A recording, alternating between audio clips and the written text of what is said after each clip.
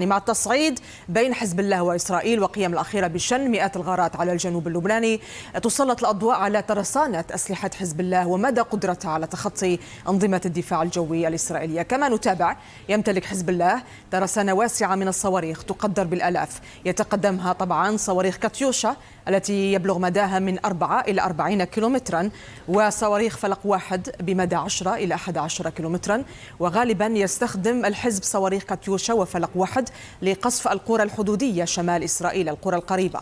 كما يمتلك حزب الله صاروخ فجر خمسة يصل مداه لنحو 75 كيلومترا وخيبر واحد ويصل مداه لنحو 100 كيلومتر إضافة إلى صواريخ زلزال التي ذكرتها أستاذ رياض. يتراوح مداها ما بين 125 و 160 كيلومترا وصاروخ فتح 110 ويتراوح مداها ما بين 250 كيلومتر إلى غاية 300 كيلومتر.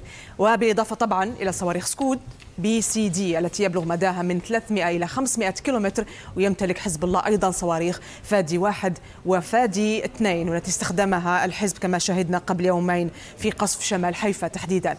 يتراوح مدى هذه الصواريخ ما بين 105 إلى 80 كيلومترا. قبل ذلك كشف حزب الله نهاية العام الماضي عن صاروخ بركان الذي يصل مداه لنحو 10 كيلومترات.